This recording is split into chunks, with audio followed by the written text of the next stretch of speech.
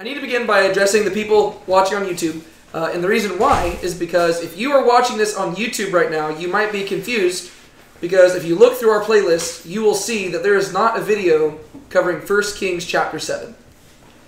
That is 100% my fault because last week we got together for Bible study and we did a two hour Bible study through 1 Kings chapter 7. And I'm not going to lie, I thought it was actually a really good discussion. Right? It was a bit of a weird chapter to go through because it was covering mainly architectural details, but I thought we managed to have a really good discussion and we talked about some good application points at the end and everything. And whenever we finished, I looked at my computer and realized that I had forgotten to click record. So that is 100% on me. That's why you don't see that. That being said, now I'm talking to all of us here. Today, we are going to spend a little bit longer on context uh, because I want to recap chapter 7 and I want to bring up some of the key points that we talked about, some of the application points. Um, and then we're going to go into chapter 8, which actually works out fine because chapter 8 is a really long chapter, and I was planning on splitting it up over two weeks, anyways. Uh, and so this just kind of works out that we're going to recap chapter 7 and then go into chapter 8, and so uh, it, it kind of just works out that way, and um, we'll be fine. And so um, this video will account for chapter 7 and 8. Um, in the title, I'm probably just going to put chapter 8, however many verses we get through. And I don't really have an end goal. I'm just going to kind of, once we get around 9 o'clock, I'll just wrap us up. Um, but yeah, so that's kind of what's going on there. I just wanted to give you all a heads up because um, that's 100% on me. So, yeah. All right, that being said, let's not waste any time. Let's actually get to this. Uh, let me open up to First Kings right here. First Kings chapter 7. Um, well, actually, before that, can, I, can somebody just give me a brief recap of what the overall context is of First Kings, right? I don't need like an in-depth chapter by chapter thing or anything because we're going to spend more time on chapter 7 today, and so I want to allow time to actually get into chapter 8. Uh, but can somebody tell me just the general context? What's going on? Uh, And make sure you talk loud for the cam- uh, microphone. King Solomon, David's son, Mhm. is building the temple of God right next to the palace. Yeah, there you go. Yeah, so we're during the time period of the United Monarchy. You know, whenever uh, it's after the time period of the judges. There's now a king over Israel. We've seen King Saul. We've seen King David. Now King Solomon's in charge. We've seen his early reign, and now he's basically he's built the temple that David wanted built. Were you saying It's also a monarchy, like start of the mon- monarchy. Yes. Peaceful, peaceful. Yes, yeah, and th- things are going really well right now. Right, Yeah. right now we are currently, um, we are in the chapters which I would argue are probably the height of Israeli prosperity for all history so far. Right, like we are literally like, if you're thinking about just the overall flow of where Israel is at on the map and what's been going on with it, this is the peak, right? And ever since then, we have never gotten back to Solomonic times right? Like whenever people think of King David and King Solomon, they think of Israel at its best, right? And whenever you get to Solomon literally dedicating the temple, this is probably at its peak, right? So what we're going to cover today, starting in chapter 8, we are literally at the top of Israelite history, which is kind of really cool, but also kind of sad when you realize that it's just going to go downhill from here, right? But uh, we've come a long way, right? Because we started this whole thing going through Judges, right? And so we've seen this slowly, like we saw it go downhill and then uphill, and it's been kind of going back and forth. But here we are at this high point, which is really, really cool. And so, uh, in chapter six, we actually got to see the really the temple begin to be constructed. Right? There's really been several chapters dedicated to this whole thing.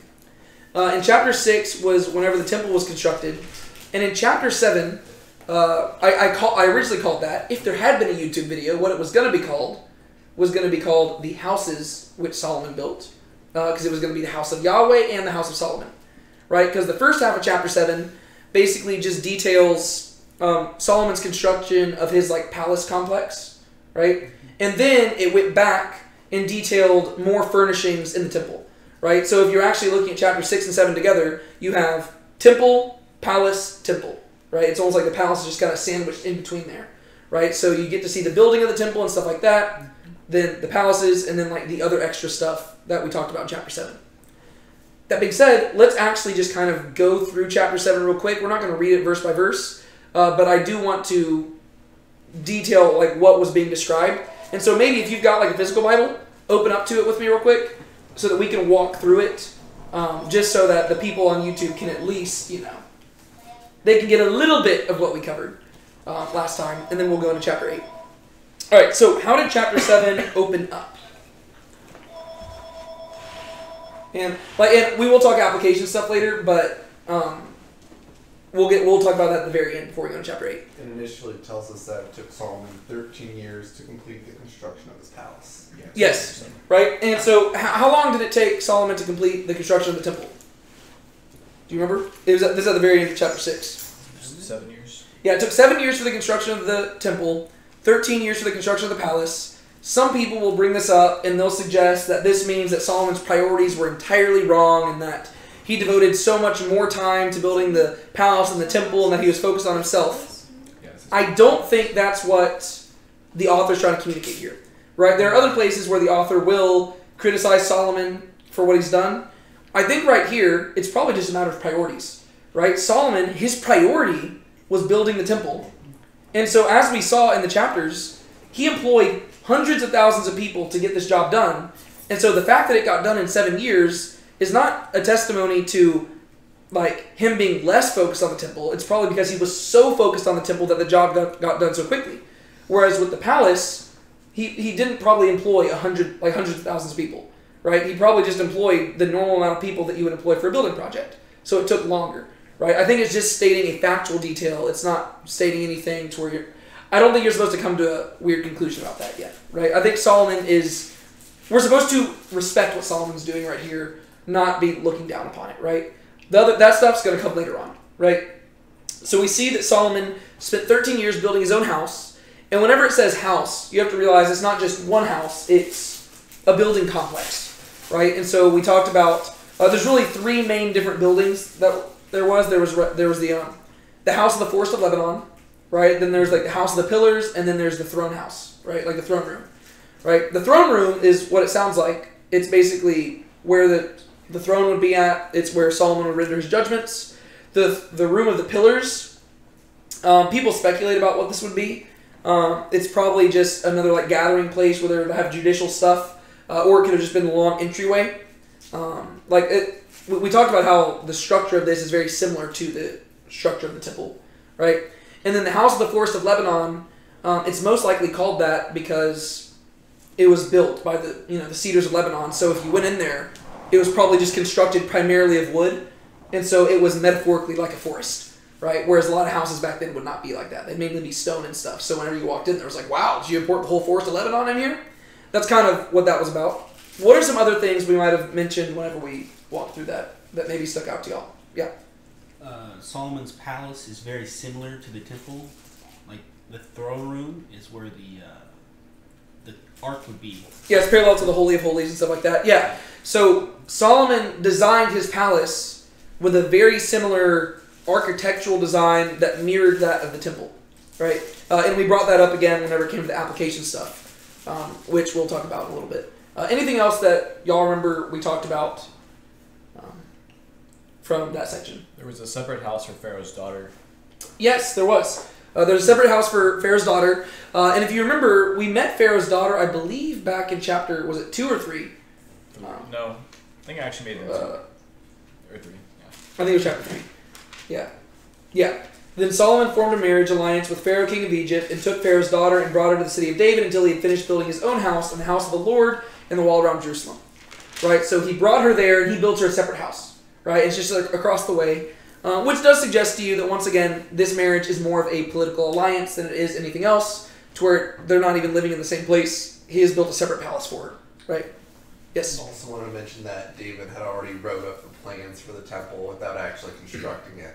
Yes, that's another thing. We did address that as well. he, he was like, "You told me I can't make the plan. You told me I can't build it, but who said I can't make the plans?" Yes. Um, nowadays, we love getting like we love working our way around rules thanks to technicalities. People in the Bible did that as well, right? As far back as Genesis, you people you see people being like, "Well, technically, um, like this is how it works, right?" And King David did the same thing. God told him, "You're not allowed to build the temple," and David said, "You said I couldn't build it. You didn't say that I couldn't draw out the floor plans, gather the materials, and basically get Solomon everything he needed."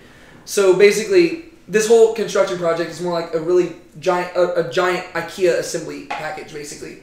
where Solomon has to basically get the workers, bring in a little bit more material, and then just fulfill what his dad had asked him to make. Right. Uh, anything else in verses one through twelve that stuck out to y'all? Because verses one through twelve are the main thing about Solomon's palace.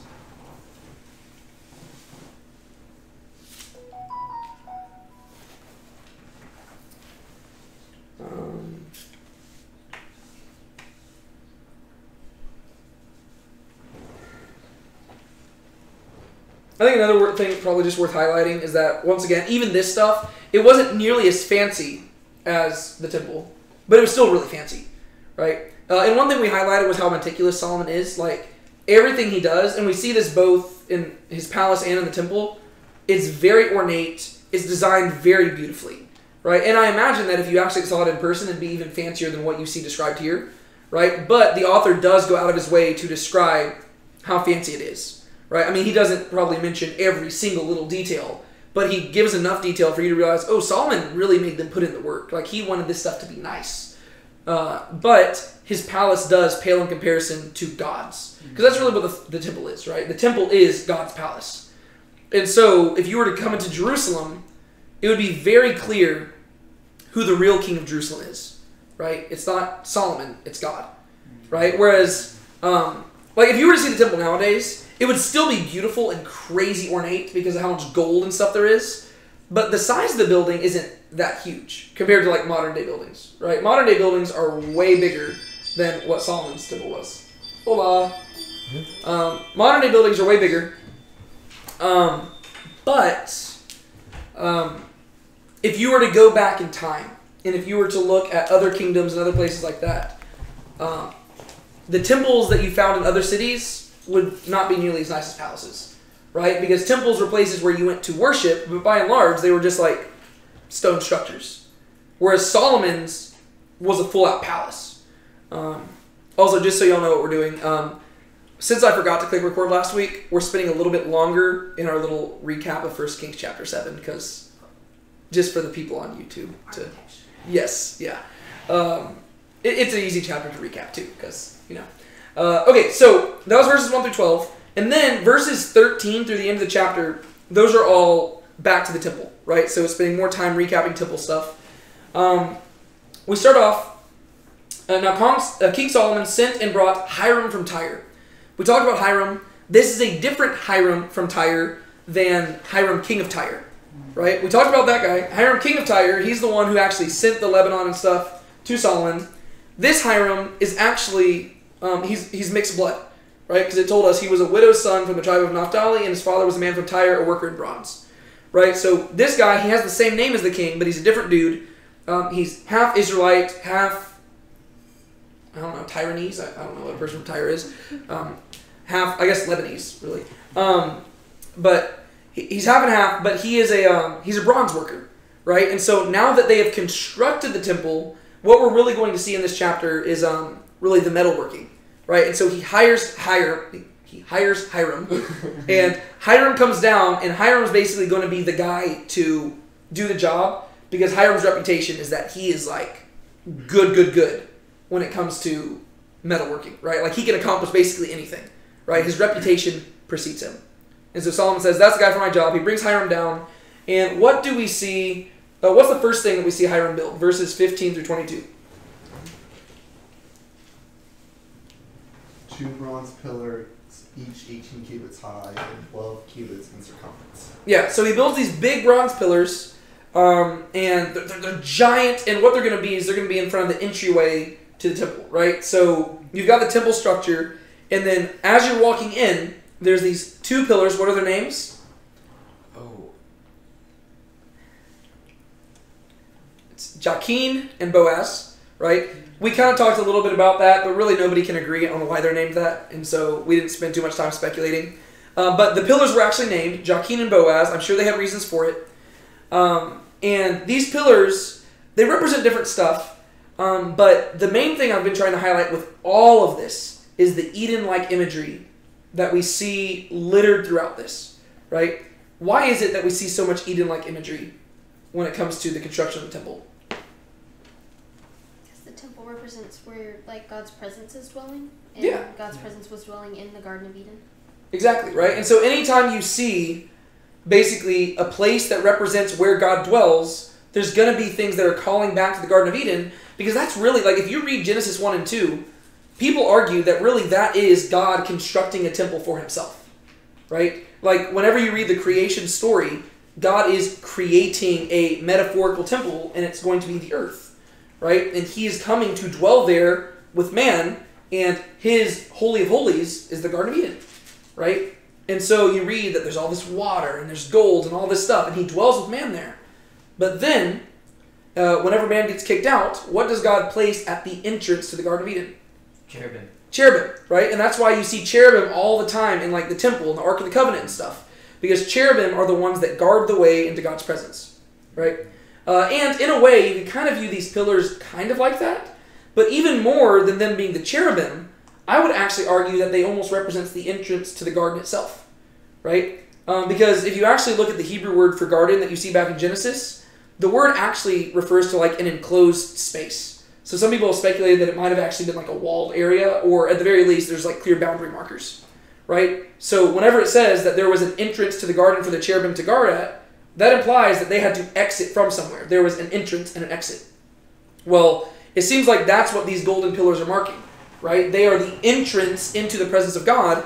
And sure enough, we read about this in chapter 6. When you walked through the entrance and you came into the room, what was one of the first things that you saw? Remember, there were the big cherubim statues, right? And the wings met in the center and stuff like that. And so you do have cherubim inside the temple. So, right, once you get past the entrance, who's guarding the way? The cherubim. Right? So it all calls back to the Garden of Eden. And whenever you actually look at these pillars, uh, remember there was like these, these giant capitals on top, and there were these pomegranates and these chains and all this stuff. Uh, once again, all Eden-like imagery. Uh, we even talked about the um, there's there's a lily design, right? And I talked about the comparison. Like Solomon, he also wrote a book called Song of Solomon, right? And whenever you see lilies mentioned in the Song of Solomon, it's always imagery that kind of has this sexual connotation, right? It was where the um, you know the man like the man would browse among the lilies, right? It's the idea of him and his wife enjoying intimacy together.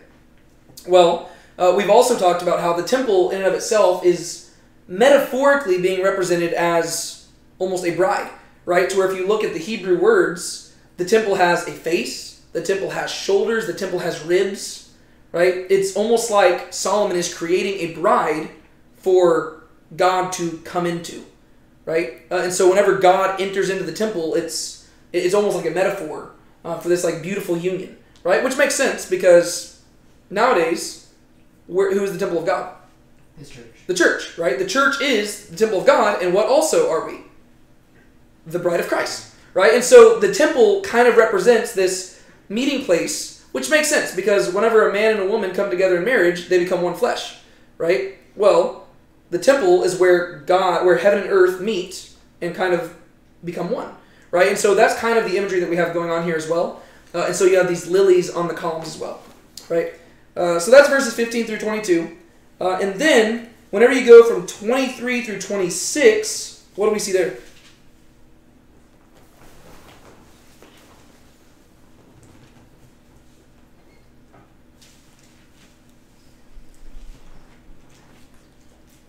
What's the next thing that Solomon has Hiram make? Those like big water basins. A big water basin, right? Th- This is the giant one. This is the Bronze Sea, right? And remember, we also talked about how inside the temple, what is the main material we have? Like, Cedar? uh, well, um, when it comes to metal, Oh. gold. Inside the temple is gold. Outside the temple is bronze. There's probably practical reasons behind this because gold is less durable, and so gold is in an enclosed space. Bronze is more durable. It's outside. Um, but also, as you're going closer to the presence of God, it gets more um, Valuable. valuable. Yeah.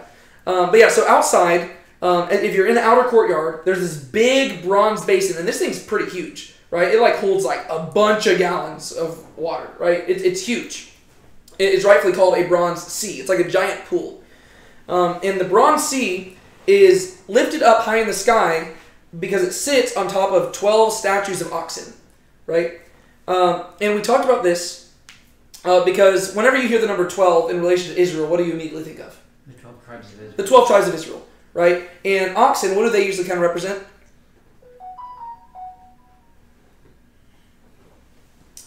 What do oxen usually represent? Like sacrifice? Um, not necessarily sacrifice. I mean, I guess it could be. Like strength. Uh, usually represents strength, right? Strength of some sort. And so if you think about it, you've got this bronze sea being held up by the oxen um, and, and once again, I don't like to over speculate about this stuff, but whenever you're reading the overall Old Testament like story, there's very clear imagery going on here. So, um, if, if you're not as familiar with the Old Testament, this sound it almost sounds like you're pulling stuff out of your butt and just guessing. But there's certain themes and motifs that come up enough to where when you look at it, it doesn't seem accidental, right? And you do have to wonder why they did it this way, right? So it seems like these oxen will represent the 12 tribes, right? Uh, and metaphorically, like, well, they're holding up this sea, and later on in the story, right, later on in the Old Testament, uh, whenever you have prophets who are having a vision of the throne room of God, you always have God's throne being in front of this large glassy sea, right? Well, inside the temple is God's throne room, right? And so just outside of it, just like in the visions that you have of heaven, there's this glass sea, right?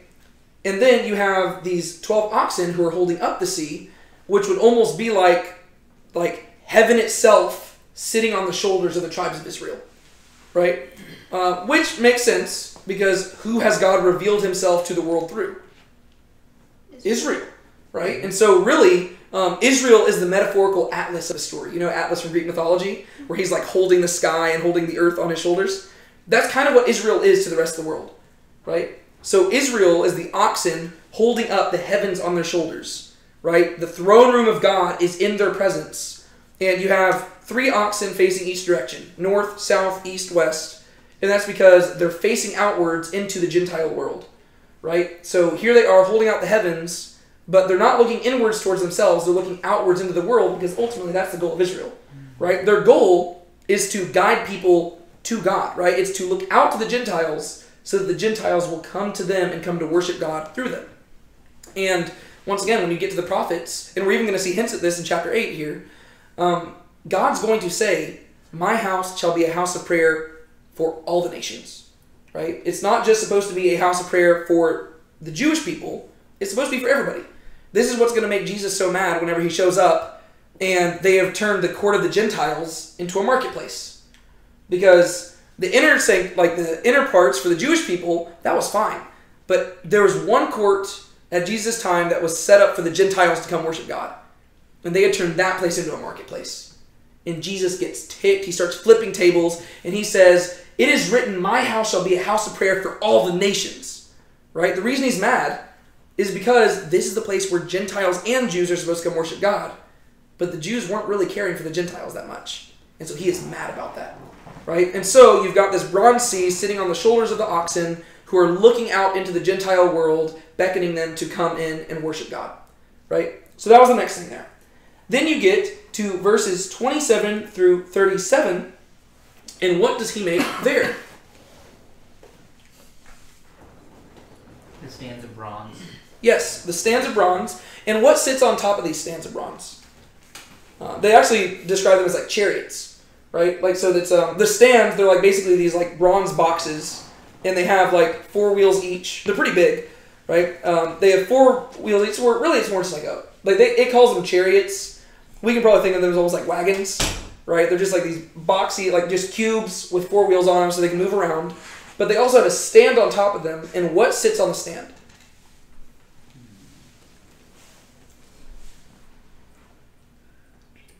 This is down in verses 38 through 30 39.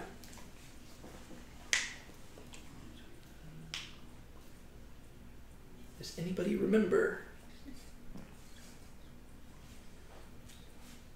Didn't know you were going to be quiz today, did you? Is it like the baths? The baths, right? Yeah. So um, basically, just smaller versions of the sea, right? So the Bronze Sea is like this huge like pool of water, but then you have these smaller, just like really big bowls of water, uh, which they calls them baths, right? Uh, and they sit on the stands, right? And so these are mobile. Uh, and what Solomon does is, if you're walking through the courtyard to the entryway to the temple, he takes these ten stands and he puts five on one side and five on the other, right? Uh, and there's def- there's a bunch of imagery that would fit into this, right? First off, whenever you go to the Garden of Eden, what do we learn about the garden when it comes to water? That's full of water. Well, yeah, there's water everywhere, right? It's it's a place flowing with water, right? It, it lists that there's four rivers that surround on all sides. This is something we take for granted nowadays because we don't have like we're not running low on water and stuff like that. But in ancient cultures, you got to realize this is how you decided where you were going to live, right? You wanted to be living near a place that had a water source, right? If there was no water nearby, you would die, right? And so the Garden of Eden, one of the quickest ways that you point out that it's a place of luxury is you point out it is surrounded by rivers, right? There's the Pishon, the Gihon, the Tigris, the Euphrates. It's a well-watered place. All right, so when you go to the temple, there's water everywhere. There's this huge sea of water. There's these rivers of water running on both sides, right? There's a lot of water. But then, metaphorically speaking, think about it.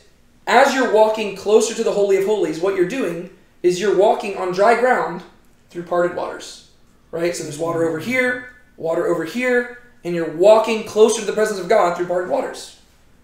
Is that relevant to Israel's history? Absolutely, right? Because how whenever they were delivered from slavery, what did they do? They walked through parted waters on the Red Sea, right? Water to the right, water to their left. They walked across, and where did they go? Mount Sinai, right? Who met them at Mount Sinai? God. He descended in a thick cloud and came to dwell there and gave them the law. Okay, well, guess what we're going to read in chapter 8? God is going to descend in a thick cloud and make his presence dwell in the temple. Mm-hmm. Same thing. All right, but whenever they left Mount Sinai and they wandered through the wilderness for 40 years, and it came time for them to enter the promised land, what did they have to do? Across the Jordan, They had to cross the Jordan River. Did they just jump it, or what happened? it parted. It parted again, right? And you had the Ark of the Covenant to go across first, and then everybody else followed. And once again, they parted, they walked across dry ground through parted waters to go into the place that God had promised them. And ultimately, the reason they wanted to go there is because God had promised he was going to make his name dwell at a certain place there. In 1 Kings chapter 8, we're going to see him make his name dwell there. Right?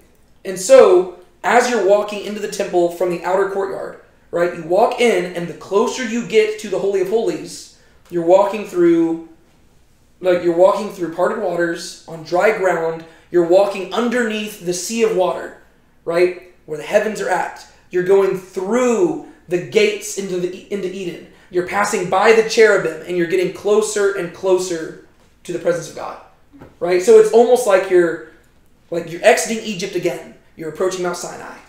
You're entering into the promised land. You're entering into the garden of eden. Like there's all these different ways that the people of israel would have viewed this and all that's at play whenever you're reading the story.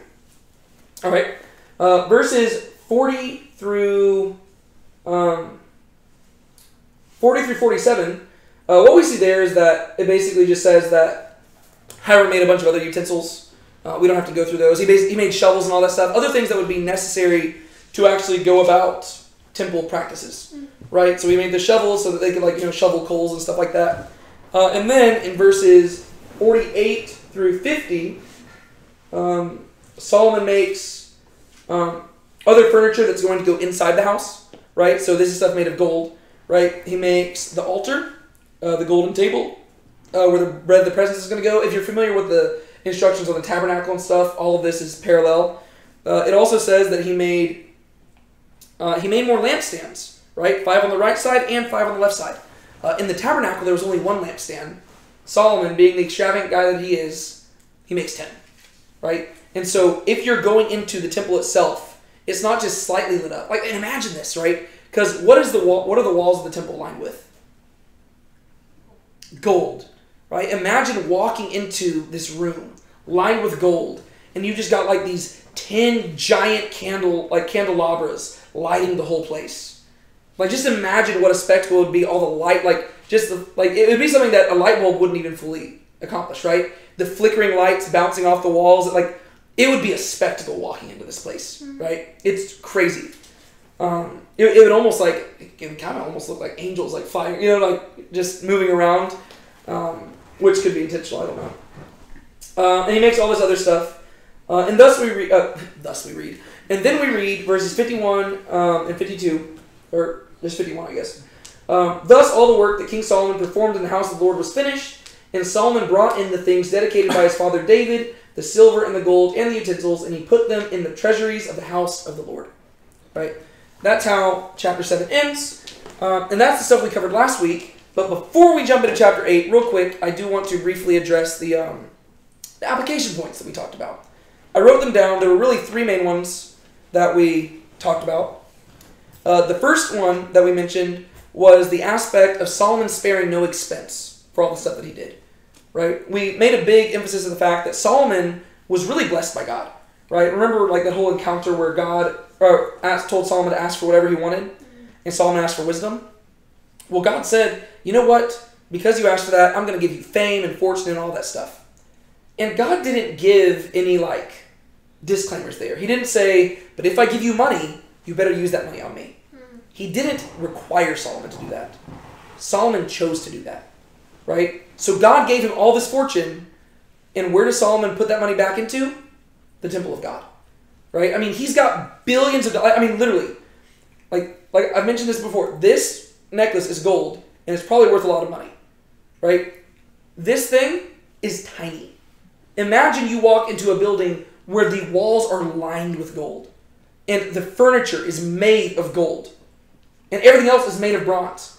This thing is billions of dollars worth, and a lot of it people are never even going to see, right? But there's an applicational point here of the idea that Solomon realized that God was worth every expense that he had, right? And Solomon, but like there's this general idea throughout the Bible that in order for something to genuinely be considered worship, it has to require some level of sacrifice, hmm.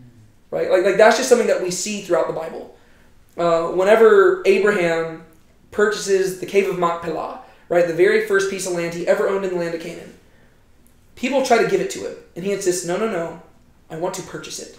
right? Because this is an first off, he wanted it to be a legally binding agreement. He didn't want them to be able to take it back later, but it was also because God had given him money, and God had given him a promise, right? And he didn't want to just freely accept this. He wanted to use the money that God had given him in order to purchase this thing, in order to like, officially seal this covenant.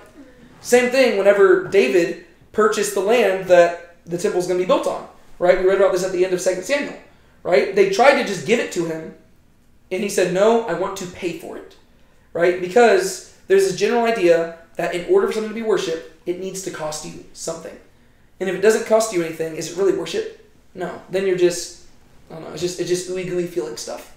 Right? I guess it can be worshipful, but it's not the essence of worship.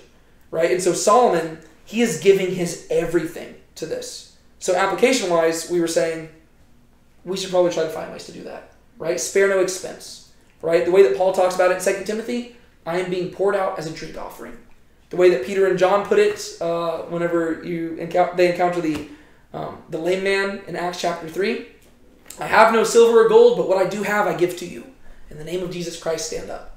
Right? We might not have the same silver or gold that Solomon has, but God has given us plenty of things, and we should use those things to glorify Him. So that whether you're eating or drinking, whatever you do, do it for the glory of God right? It should cost you something, and if it's not costing you something, it might not be worship. That was the first thing we talked about. A second thing we talked about was the parallel between Solomon's house and God's house, right? Uh, I mentioned this earlier, but you know, Sol- the way that Solomon designed his palace is very similar to how God's palace is designed, right? The temple and the palace like layout very similar, uh, and we talked about how basically um, this is kind of how we should try to make our lives, right? Um, how like if currently the church of God is the temple of God, well then we should strive to make it so that our families and our households are trying to achieve the same goals that the church is trying to achieve. Right? And this is not simply the same as slapping a Bible verse on the wall or, you know, putting your you know, putting a Bible verse in your Instagram captions. There's got to be something more to it than just that, right? It is literally a question of what does it look like to serve God as a household, right? Like Solomon, he went to the pains of literally designing his house to where, like, if you compare the two, there's a very clear parallel. All right, so if there's certain things that we're saying this is what our goal is as a church, how do we embody that as a family? Right? How do we embody that lifestyle just personally in our own individual lives?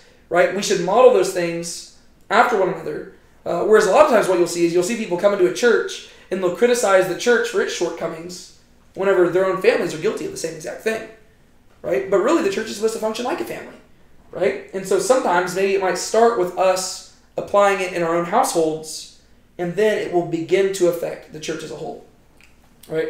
Um, was there anything else that we really talked about in regards to that, like, like that specific application point? I don't think so. Okay. Um, yeah, so just making sure our private lives reflect the lives that um, we give to the church, right? Uh, we we want to make that we want to make that consistency evident, right? Because there's a lot of people who go to church and act one way, they go home and act a different way. We want to look the same both ways.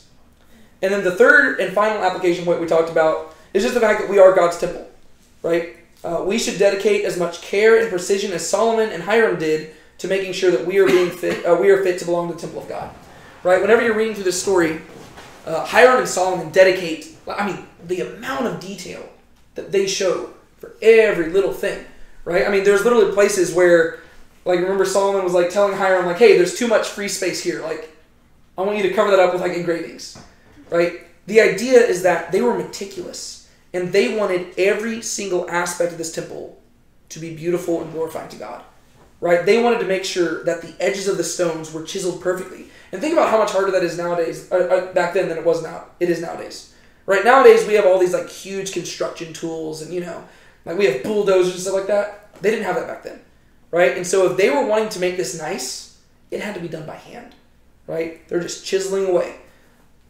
That says something, right? The amount of effort they were willing to put in to this amazing building that by and large only a handful of people would really get to actually see shows that we should also show the same respect to our temple, right?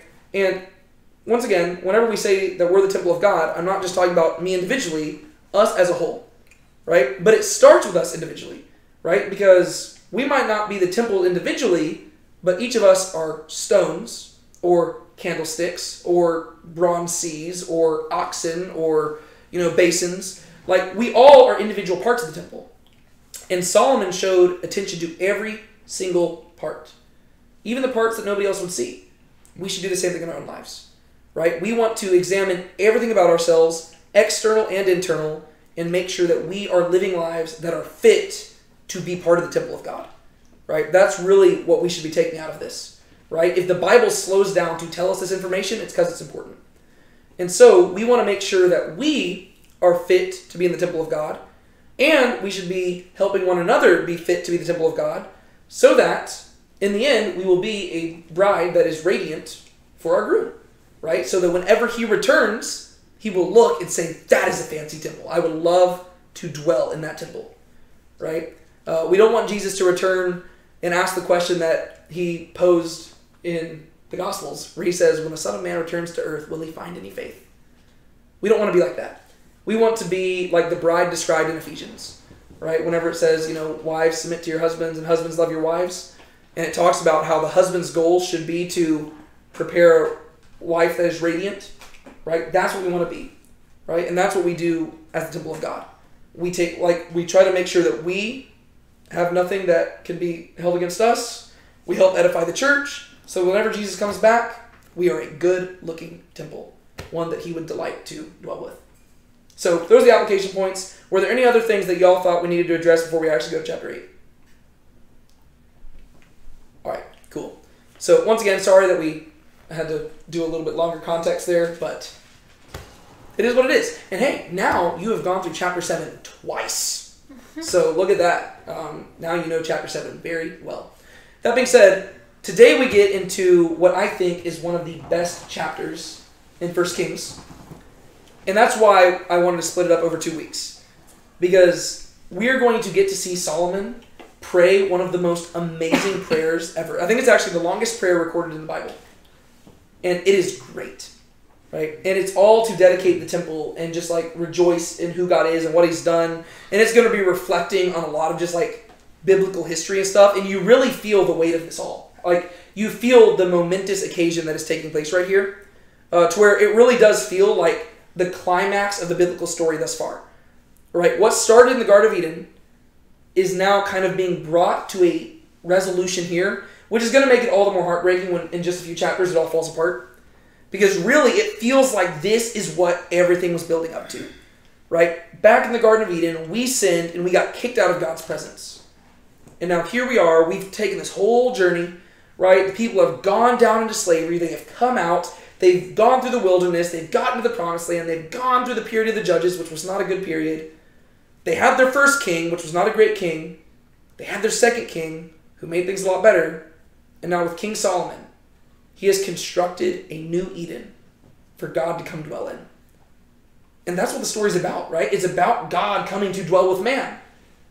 And so it almost feels like like this is a foreshadowing of Revelation, right? In Revelation chapter 22, we are going to see the same thing happening, but it's actually going to stick. Right? The issue with this one is it's only going to be a temporary reprieve, right? Which is going to make it even sadder because whenever you get to the chapters when it all falls apart, it's going to be like a second false story. And it's going to be even more heartbreaking because we should have done better, right? But this really does feel like the climax of the story, right? Like like if if it ended after chapter 8, like if the Bible ended there, I think it would feel like a satisfying story. But it doesn't end there. And so we're going to keep reading on afterwards. But let's go into it the dedication of the temple. Take it away, Sean. All right. then Solomon assembled the elders of Israel and all the heads of the tribes, the leaders of the fathers' households of the sons of Israel, to King Solomon in Jerusalem to bring up the ark of the covenant of Yahweh from the city of David, which is which is Zion. And all the men of Israel assembled themselves to King Solomon at the feast in the, in the month Ethanim, which is the seventh month. Then all the elders of Israel came, and the priests carried the ark. And they brought up the ark of Yahweh and the tent of meeting and all the holy utensils which were in the tent. And the priests and the Levites brought them up. And King Solomon and all the congrega- congregation of Israel who congregated to, to him, being with him before the ark, were sacrificing so many sheep and oxen that they could not be counted or numbered. Then the priests brought the ark of the covenant of Yahweh to its place, into the inner sanctuary of the house, to the Holy of Holies, under the wings of the cherubim. For the cherubim spread their wing, wings over the place of the ark, and the cherubim made a covering over the ark and its poles from above. But the poles were so long that the ends of the poles could be seen from the holy place before the inner sanctuary, but they could not be seen outside. And they are there to this day. There was nothing in the ark except the two tablets of stone which Moses laid there at Horeb, where Yahweh cut a covenant with the sons of Israel when they came out of the land of Egypt. Now it happened that when the priests came out of the holy place, the cloud filled the house of Yahweh, so that the priests could not stand to minister because of the cloud, for the glory of Yahweh filled the house of Yahweh. Good stuff. Thank you, Sean. All right.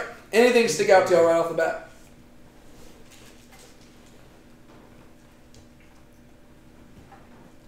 Just the obvious parallel. It's like it mentions Moses and the tablets and the ark and then the cloud.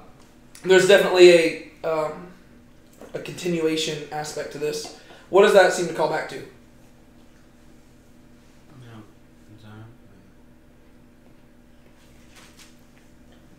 Anybody know how the Book of Exodus ends? It's in the tabernacle, I believe. Let me read it to you. So here's a brief recap of the Book of Exodus. Right, the Book of Exodus. Um, anybody know what the word Exodus means?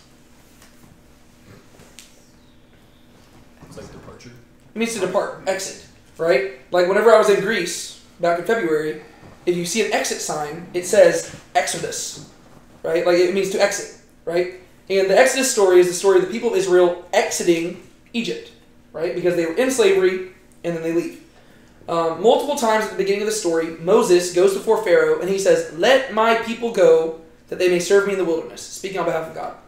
And that's really the structure of the book of Exodus, right? The first 15 chapters are about Pharaoh letting the people go, and then chapters 16 through 40 are about them learning to serve God in the wilderness, right? So chapters 1 through 15, that's the Exodus story you're probably most familiar with, right? This is where you have Moses called from the burning bush. He goes down, there's the 10 plagues, there's the parting of the Red Sea, all that stuff. And that's chapters 1 through 15. Chapters 16 through 40 are the serving God in the wilderness part, uh, where once they get in the wilderness, they need to learn what it looks like to serve God. Chapter 19, they arrive at Mount Sinai. Chapter 20, God starts giving them the law. Right? That's where you get the Ten Commandments. Right? The people decide that they don't want to talk to God directly. And so starting in chapter 21, Moses becomes the mediator. He goes up and down, up and down, up and down the mountain, receiving the law from God and giving it to the people. And uh, in chapter 24 ish, they officially make their covenant with God. And then chapters 25 through 31, Moses goes up the mountain for 40 days and 40 nights. And during this time period, God starts giving some instructions, right? He tells Moses that he wants to come dwell with the people. And so what Moses is going to do is he's going to have them build a tent, right? And this tent is going to have this section called the Holy of Holies. There's going to be the holy place. There's going to be this golden ark that goes inside the tent, and God's going to come dwell in it.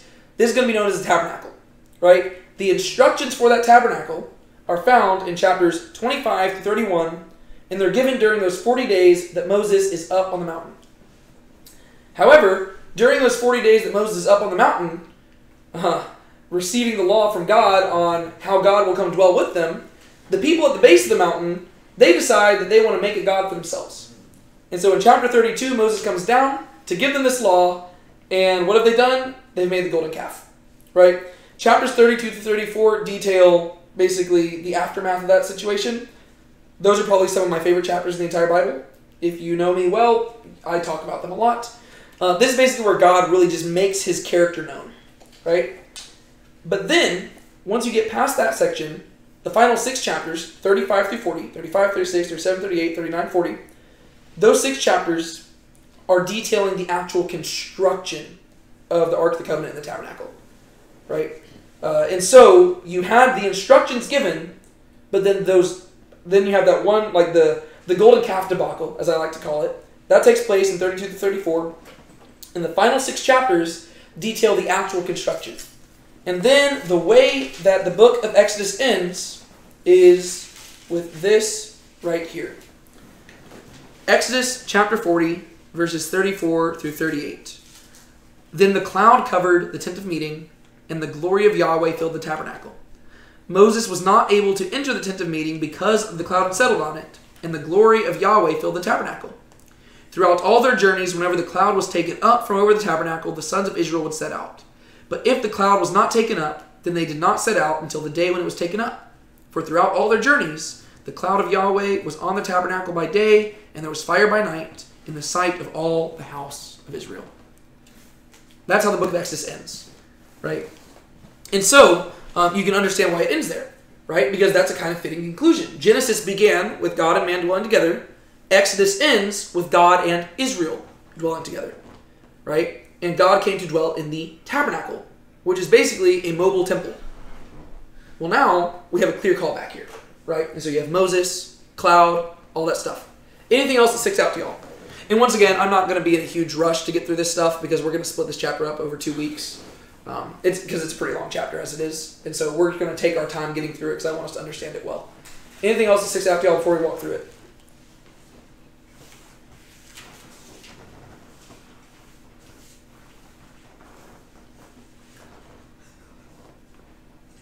Find it fascinating that they sacrificed so much they couldn't even record it or count it.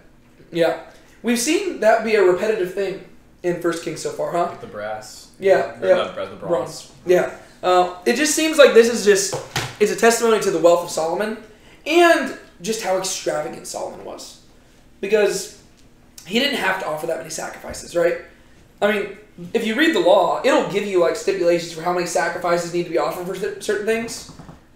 Solomon, what you have to know is he's an extreme guy, right? I, I imagine it'd be Solomon would be an interesting person to be friends with because he picked up some of his dad's best and worst traits, right? David was a pretty extreme guy as well, but Solomon had that same extreme nature as David, but he also had like all this wealth and stuff to like. He was just very eccentric, right? It- It's kind of like a. I don't know. Like I feel like if Solomon was alive nowadays, he- he'd be more like a like Steve Jobs, Elon Musk type or Howard Hughes, like very eccentric person who just uses money to just do weird things, uh, and not always weird, but sometimes just like over the top, right? Uh, and sometimes that's good, sometimes it's bad. But in this instance, it's very good, right? He's just like sacrifice all the animals, right? Because he just has so much, right? Uh, to where uh, you, if this happened nowadays, you you know for a fact there would be fireworks, there would be all sorts of stuff, all the stuff I usually complain about in like church services. Solomon would probably have that, um, but he would probably have it for the right reasons. Um, but but he is trying to make this a show, right? This is just a huge thing. It's an event, right? This isn't how things are always going to be, but it's a coronation ceremony, right? The king is coming to dwell in his palace, and Solomon wants to give him the respect that he's due. Anything else? It mentions the uh, cherubim again, Mhm. where the the cherubim have their wings over the where the Ark of the Covenant is going to be. Yeah, it lingers on that for a while. Like it like restates it multiple times for It's sure. The final like protection of you know God's presence. Like, Yeah. Well, it's emphasizing this is where God's going to dwell for sure. I just find it fascinating that like uh, the presence of God dwelled in the temple before the priests could even minister and give their service. It just shows how Solomon's heart was in the right place and how quickly God came. Yep, absolutely. Has it mentioned Zion yet? Um, in the Bible, I don't know. Let me look. What? Oh, it says it in verse one. Yeah. Um, let me look. Um, da, da, da, da. Let me check. Da, da, da. Zion. The first time that Zion shows up in the Bible is actually 2 Samuel chapter 5. Um, nevertheless, David captured the fortress of Zion. But this is only the second time it shows up. Okay. Um, so, yeah. Makes sense. City of David, which is Zion. Yeah. Um, yeah, so it shows up 2 Samuel 5 7, and then this is the first time it shows up since then. But then, and then it actually isn't mentioned again until 2 Kings chapter 19. Interesting. Hmm. I don't know what to do with that information, but it's pretty cool. All right, let's walk through it. Then Solomon assembled the elders of Israel and all the heads of the tribes, the leaders of the fathers' households of the sons of Israel, to King Solomon in Jerusalem to bring up the ark of the covenant of Yahweh from the city of David, which is Zion. So he's, he's essentially just getting all the important people. Yeah, he's getting all the important people. Um, what does this tell us?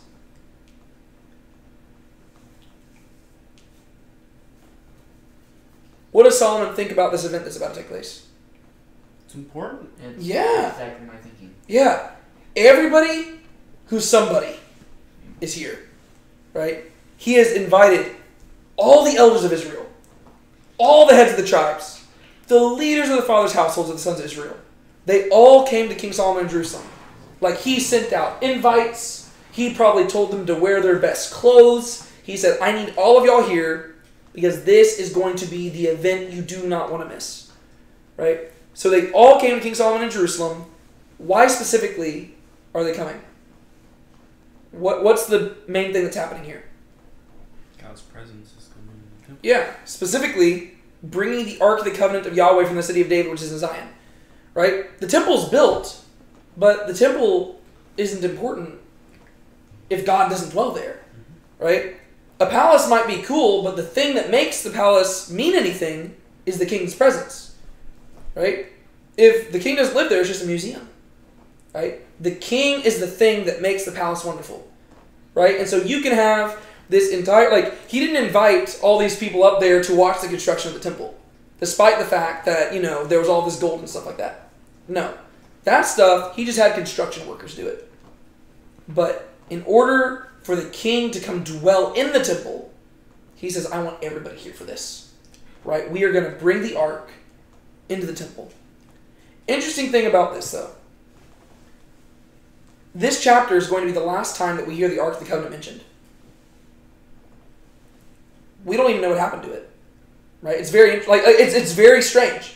Like it's in this chapter, it's going to talk about the Ark of the Covenant, and then the Ark of the Covenant is just going to kind of fall off the face of the, the the story, right? To where even to this day, people don't know where it's at. I mean, according to Indiana Jones, it's sitting in some storage facility in a wooden box um, after killing some Nazis. But we don't know where the Ark of the Covenant's at, uh, and people speculate as to why this is, but it seems to be like that what happened is that the Ark of the Covenant was really God's dwelling place while they were moving around. But now that God has come to dwell on his throne in a set place, the Ark of the Covenant ceases to really be super important. Right? Because if the Ark of the Covenant was lost by accident or something like that, you would think that the text would mention it. But later on, like whenever you get to Second Kings, it's going to detail Nebuchadnezzar coming in and stealing all this stuff out of the temple. And it's going to detail him stealing the candlesticks and all that stuff. It won't mention the Ark of the Covenant, though. which would suggest to us that by that time period, the ark was already gone. And we don't know when it happened, but if it happened accidentally, you would think it would mention it, right? It would be like, oh yeah, somebody came in and stole the ark of the covenant. Because before when the ark got taken, it was a big deal. Exactly. Uh, and so it seems to be like there's like this kind of understated aspect to it that once the Ark of the Covenant came to dwell there, it ceased to really have any value, right? Because the Ark of the Covenant was only significant because that's where God dwelt. But now God's dwelling in a fixed place, right? And it's not going to be moving from place to place, and so that is his home, right? And so presumably the Ark of the Covenant was just taken out of commission, but we, we don't know. There's people to this day who claim to have the Ark of the Covenant. There's like a church over in Ethiopia. Um, some of the Jewish people believe that it's literally hidden in some of the tunnels underneath the Temple Mount, stuff like that. Uh, very interesting. Yes. Heck, I even heard a story that it was like right below where Jesus got crucified and his blood came down and broke it in half and all this. Uh, people will also say that like Adam's skull is buried right underneath where Jesus was crucified, and that like if you ever look at like artist paintings of Jesus being crucified, sometimes you'll see a skull at the bottom of the cross, and that is supposed to be Adam's skull because they'll say that's where Adam died at. Pe- people are very fanciful with a lot of stuff. Um, be, be careful with that. Um, but yeah, so Ark of the Covenant, I just think that's interesting, right? Ark of the Covenant, it, it gets so much focus for so much of the Bible. But then after this chapter, it just kind of ceases to be important. I mean, it's mentioned again in like First Chronicles and stuff, but that's because it's retelling the same story. But after this, it just kind of disappears um, because it was never about the ark. It was always about what the ark brought with it, right? All right. So Solomon assembles the elders of Israel and the heads of the tribes and the leaders of the house, fathers' households, the sons of Israel, to King Solomon in Jerusalem to bring up the ark of the covenant of Yahweh from the city of David, which is Zion. So where was the ark of the covenant at before? Like somebody's house? Well, it was, but then David moved it. Remember, and David brought it to Jerusalem, uh, where it basically just sat in a tent, right? But now Solomon is bringing it from there into the temple, uh, which really this is not like a very far journey, right? Like if you're picturing Jerusalem on a map, like if you picture like you've probably seen the maps of like Jerusalem at the time of Jesus, right? It's like a big old square, right? Well, if you go to the southeast corner of that whole design, there's like this tiny little sliver. Some of y'all's Bibles might even have maps in the back. Um, there's like this tiny little sliver part that's walled. That's the city of David, right? And then if you go directly north of that, that's where the temple's at, right? So the city of David's right here, and just like a short walk away would be where the temple's at. So this is not going to be like a long carry. Um, they're just moving it from one place to the other. That's all that's happening here. And so they're taking it from the city of David, which is Zion, and they're bringing it up into the temple. And all the men of Israel assembled themselves to King Solomon at the feast in the month of Ethani- uh, Ethanim, which is the seventh month. Um, the seventh month then does not correspond to the seventh month now. Uh, do you know when Ethanim was? I believe I know. I just want to make sure. Yes. An actual month. My Bible here says September through October. It is September through October. Um, so Ethanim is the Jewish name for it. Uh, once they go off to Babylon, they're going to start using different names for their months. Uh, this corresponds to the month of Tishri, right? Uh, the month of Tishri is where you have the festivals of like the Day of Atonement, uh, Yom Kippur, uh, and also the Feast of Tabernacles, right? Which they recently just celebrated last month, right? So that's what they're dealing with right here, right? So we actually just recently passed the anniversary of this whole event, right? So this is during the Feast of Tabernacles that they're doing all this.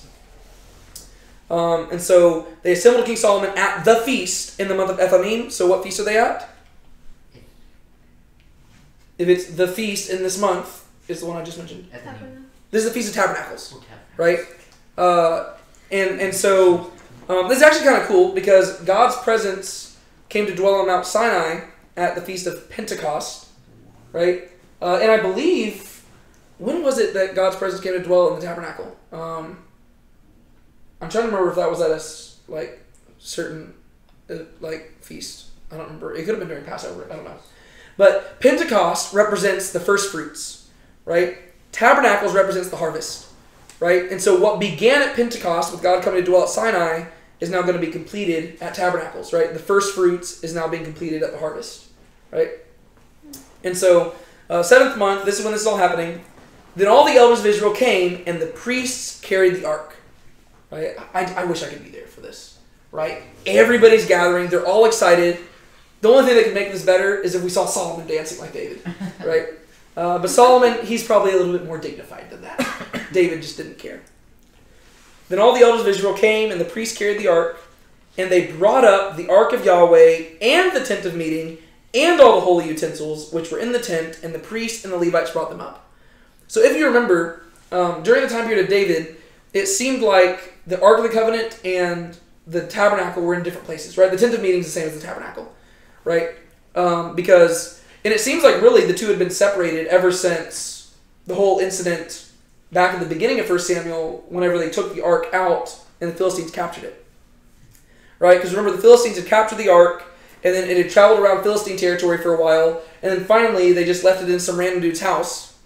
And meanwhile, the tabernacle's over at another place. Once David becomes king, he takes the Ark of the Covenant, brings it to Jerusalem, but we don't really see him doing anything with the tabernacle. Well, Solomon, he is reunifying that, right? So, in addition to building the temple, Solomon's also reunifying their worship system, right? The tabernacle and the ark are being reunited. So they brought the ark of Yahweh and the tent of meeting and all the holy utensils which are in the tent, and the priests and the Levites brought them up uh, in accordance with the law, right? The law gave very specific rules as to who was supposed to carry this stuff. And King Solomon and all the congregation of Israel. Fun fact about the word congregation. In Hebrew, this is the word kahel, right? If you were to look at the Septuagint, who which what is the Septuagint? Anybody remember?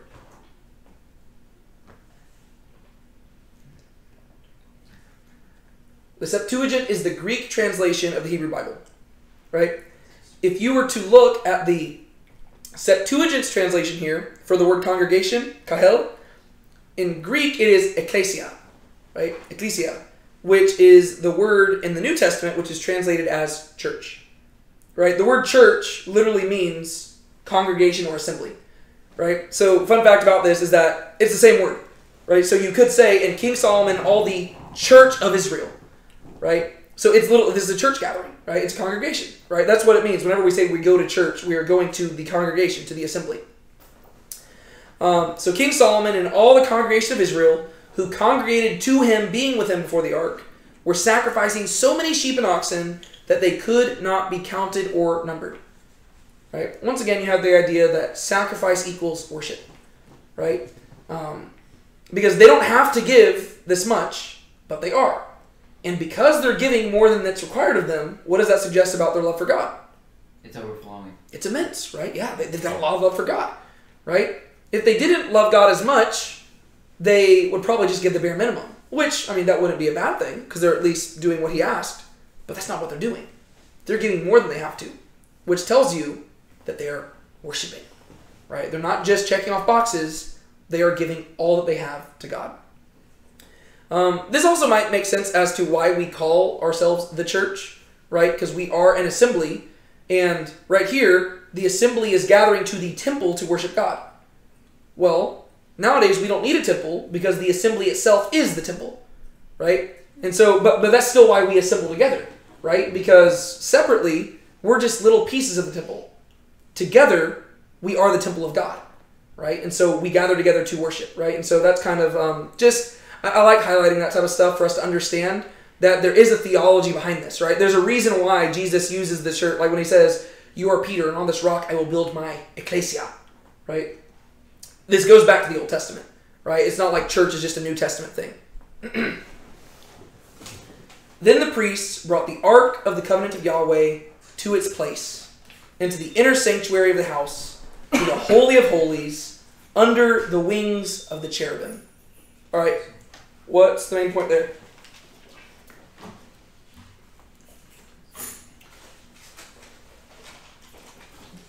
The Ark of the Covenant is being carried into the Holy of Holies. Yeah.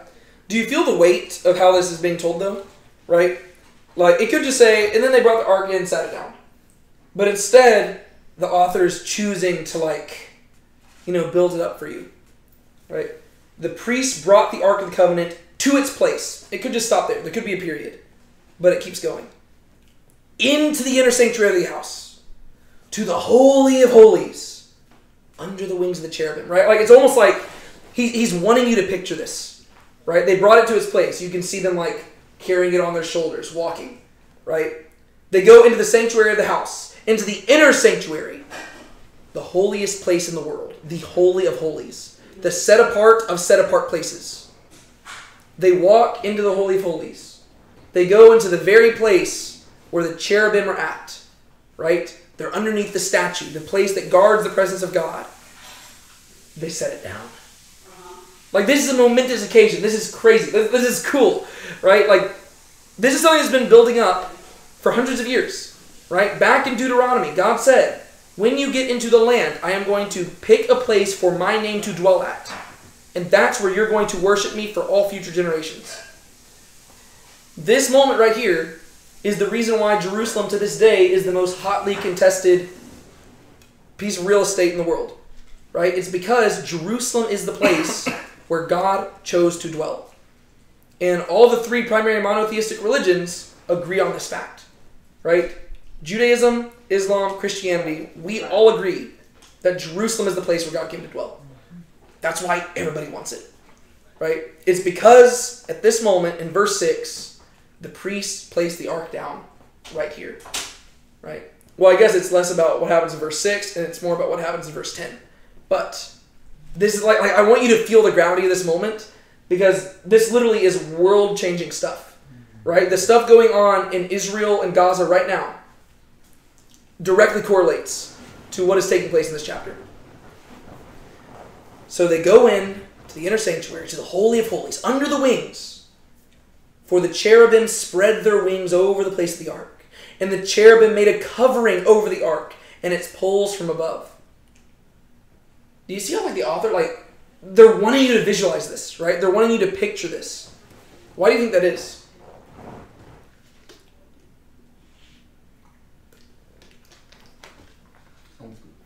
Makes. It, I lost my train of thought. That's fine.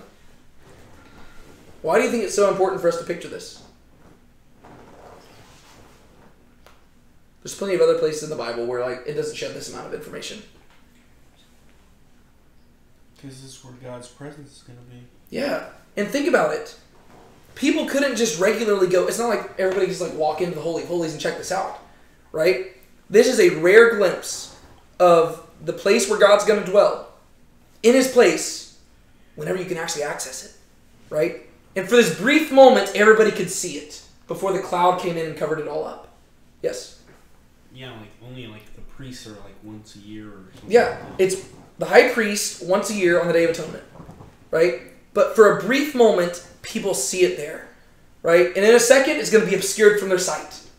And it's going to stay obscured until God's presence leaves. And by then, the Ark of the Covenant's probably not there, right? So this is like it's a it's a precious moment, right? The Ark is being placed down, and people see the the wings of the cherubim guarding over the Ark of the Covenant, and we know the theology of that, right?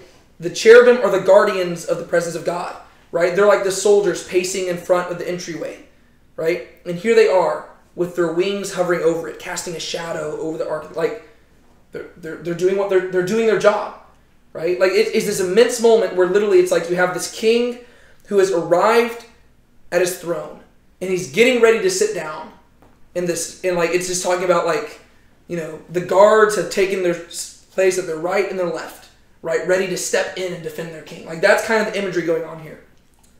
The cherubim spread their wings over the place of the ark, and the cherubim made a covering over the ark and its poles from above. But the poles were so long that the ends of the poles could be seen from the holy place before the inner sanctuary, but they could not be seen outside, and they are there to this day. It's interesting that it says the poles are there to this day, but it doesn't say anything about the ark, right? I don't, I don't know what to do with that information. It's kind of weird. Um, but it seems like that seems to imply that the ark is not there, right? Because it goes out of the way to say the poles are still there to this day, but not the ark. Um, but I, I like this detail too, right? Because this honestly seems like a really meaningless detail, but it seems to suggest to you that this is a moment that everybody remembered. Because the author, I can almost guarantee you, the author was not there during this, right? Like, assuming the same author wrote the entirety of First and Second Kings, unless this guy lived hundreds of years, he was not there for this moment. But it's almost like these were stories that were passed down by the people who were there, right? And it's like they're holding on to every moment. So even once the Ark of the Covenant is placed there, and the people have gone out of it. They're like, but we like like it's like they didn't want to move their eyes from it, and they're like, we could still see the poles, right?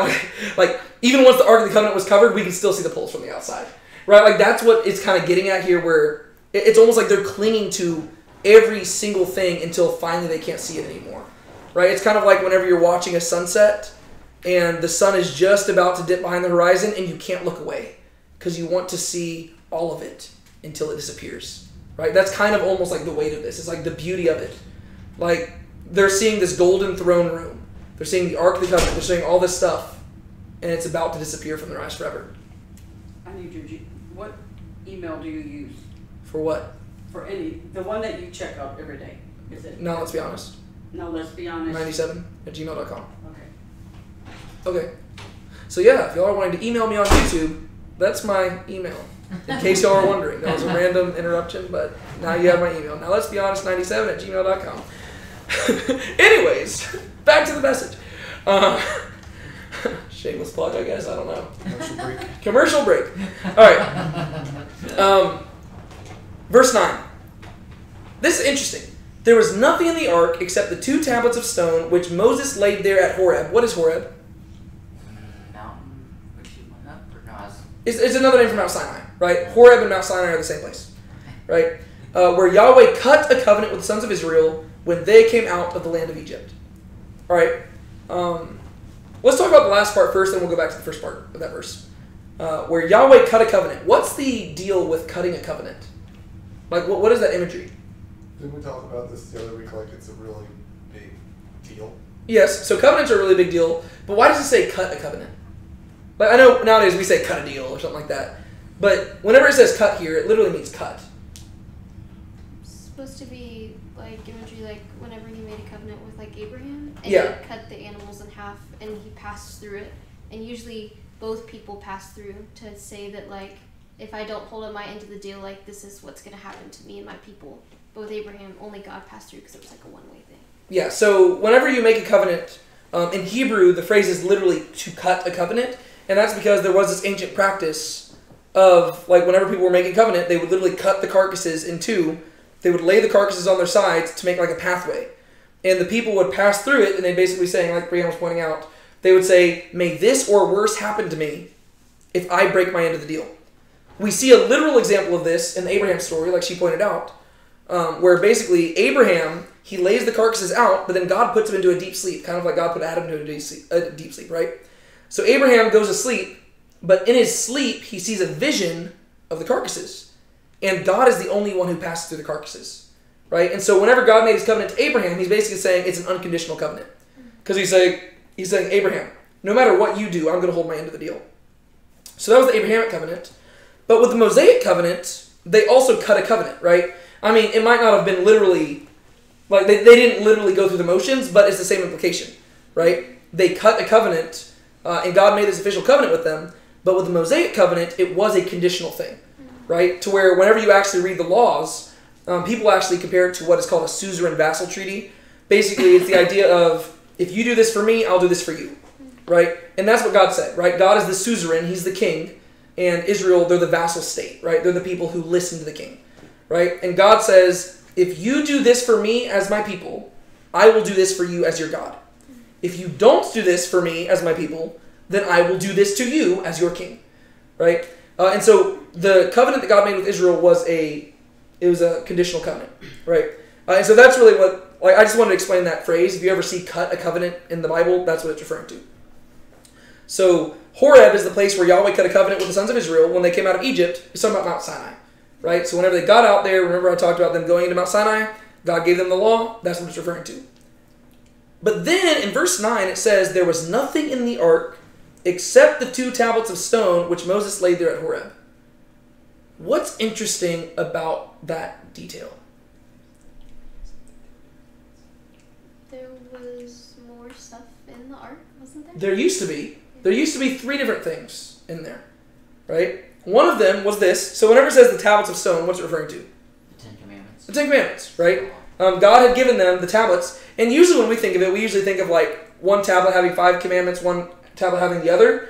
Most likely, what it is is it's two duplicate tablets, right? That both have all ten commandments on them, And once again, it's because it's a suzerain vassal treaty. It'd be like one copy is for God, one copy is for the people, right? But both of them are in the Ark of the Covenant because God is traveling with the people, right? And so that's really what those tablets are, right? If you remember, the first copy was destroyed because of the golden calf debacle, right? Moses got mad and threw him down, and then he had to go back up, and God made another one. Um, so that's always been in the Ark of the Covenant, but there were there are two other things in there as well. Do you remember what they were? Is it a s- staff kind of thing? I knew that you would remember that one. How did I know Rocky would remember the staff? Um, so yes, um, one of them was Aaron's staff, right? Remember the staff that accomplished all these amazing wonders. Um, well, there was this one point in the story with the people of Israel where basically um, they were feuding. Like the people of Israel grumbled all the time, and they were like, "Who does Moses think he is? Does he think he's the only one who can speak on behalf of God? And who does Aaron think he is that he's the only one who thinks he can be priest?" And so basically, God put them in their place. And God basically said, All right, how about this? Let's get a bunch of people to bring their staffs up, and y'all are going to leave them in the tent overnight. And the one whose staff buds, right, where like a leaf starts growing out of it, that's the person who I've appointed to be my priest. And so all the people leave their staffs in the tent overnight, and then whenever they come the next day, Aaron's staff is the one that buds, right? And so they put that staff in the Ark of the Covenant to commemorate that event, right? There was one other thing that was in the Ark of the Covenant. Do you know what it was? It was something that commemorated their wilderness wanderings. Was it manna? Manna, yes. Um, they put some manna from the wilderness in it. If you remember, um, whenever the people of Israel were in the wilderness, once again, they, they grumbled, right? It seems like really most of their stories begin with grumbling. Uh, and they were like, Who does God think He is? He brought us over here to the wilderness to die. And God says, Okay, I'll feed you, right? And basically, what would happen is that um, they called it bread from heaven, basically, right? Um, they would wake up in the morning, and there were these little flakes of bread, right? It was almost like they would say it was kind of like dew gathering on the ground, but the dew would harden into these little like cakes, right? Uh, and it's, they said it tasted like honey, and they like whenever they came out, they said, "What is it?" And the word "what is it" in Hebrew is manna. So, like the word manna literally means "what is it?" because they didn't know what it was. Uh, and so um, God gave them this, and then He preserved manna for them to put in the Ark of the Covenant to commemorate His provision for them. So those were the three things that used to be in the Ark of the Covenant, but apparently now it's just the tablets. Uh, and once again, we don't know where the other two things went. We don't know if maybe the Philistines took that stuff out whenever they had it, or if it was taken out at some other point. We don't know, right? There's a lot of interesting stuff about the Ark of the Covenant that we're just not aware of. Uh, but for some reason, the only thing that's in there now is the um, the tablets, which is fine because really that's the main thing they need, right? Um, they, they want to remember the other stuff, but the tablets are the uh, that's the covenant, right? And the Mosaic covenant is still in place. They need that, uh, and so that's in there. Uh, now it happened. ah, this is the best part. This is great. Now it happened that when the priests came out of the holy place, the cloud filled the house of Yahweh. Right? So that the priest could not stand to minister because of the cloud, for the glory of Yahweh filled the house of Yahweh. Uh, very similar to the book of Exodus. Remember, it said that they could not stand in the tabernacle because the cloud was so thick? Same thing. Right? It's so thick that they can't stand. Right? And it's not saying that they fell on their knees because, no, like it's saying they literally they had to get out. They're like, whoa, this is crazy. They had to back out. Uh, do you know the fancy term that people use to refer to the glory cloud of Yahweh?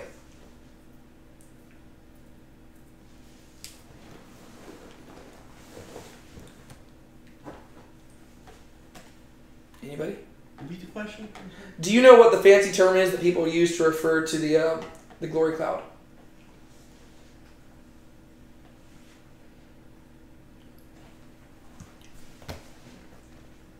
It's the Shekinah or Shekinah, uh, depending on how people pronounce it.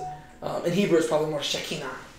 Um, it means to dwell or to settle, right? It's the Shekinah glory of God. You don't actually see that word show up in the Bible. Um, it shows up in like Jewish commentaries and stuff like that. Um, but you'll hear a lot of commentaries reference the Shekinah glory of God, right? Um, but, but that's what this is, right? It's the glory cloud, right? Um, now it happened when the priests came out of the holy place, right? So the priests have exited, right? And now that everything has been emptied out and they have come out of the place, God makes His amazing entrance. Right, the the cloud comes. I I just want to see the sight. Right, I wish I could be there for this. Right, all the people there, Solomon standing there, everybody's probably singing and praising God. The cloud comes in and it fills the house. Right, and really God's presence was already in the Ark of Covenant. Right, I mean like so God's presence was already there. Mm-hmm. Right, but this is His cloud like affirming His presence. Right, it's saying like boom, I'm here. Right, it's affirming that something amazing has happened so that the priests could not stand to minister because of the cloud. Right? It was so powerful that they had to get even further away. For the glory of Yahweh filled the house of Yahweh.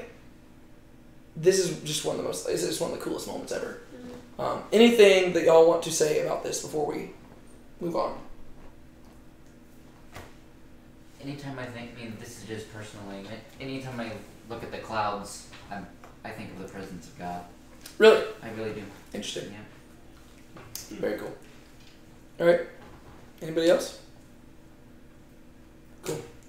All right. Verses 12 through 21.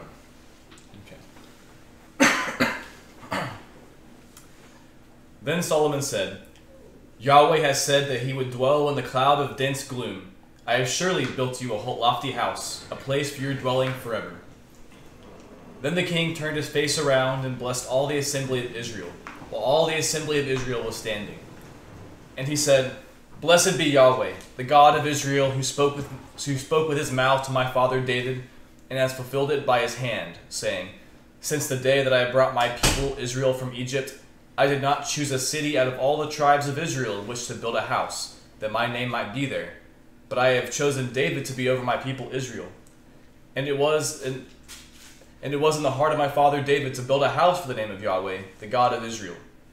But Yahweh said to my father David, Because it was in your heart to build a house for my name, you did well that it was in your heart. Nevertheless, you shall not build the house, but your son, who will come forth from your loins, he shall build the house for my name. And Yahweh has established his word which he spoke. And I have been established in place of my father David, and sit on the throne of Israel, as Yahweh promised. And have built the house for the name of Yahweh, the God of Israel.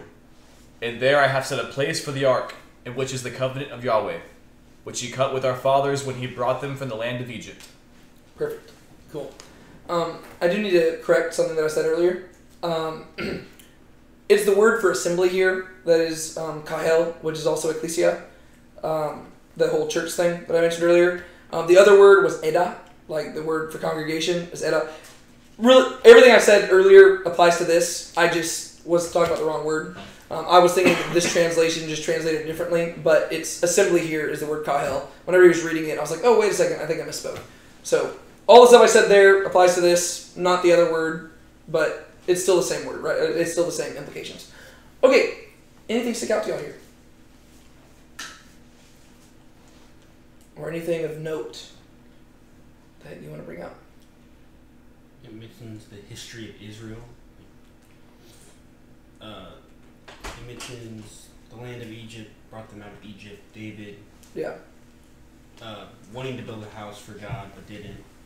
Yeah. And he, Solomon, David's son, building it. yeah. Do you see why I wanted to slow down when it comes to this chapter? There's a lot of historical, like it. It feels like a culmination moment, right? It almost feels like a series finale of a TV show, where like as you're building to like the climax, all of a sudden there's a flashback to like how far we've come, right? It's like, oh, here's a flashback from season one, season three, season four. Just so y'all know, I'm reading Smallville.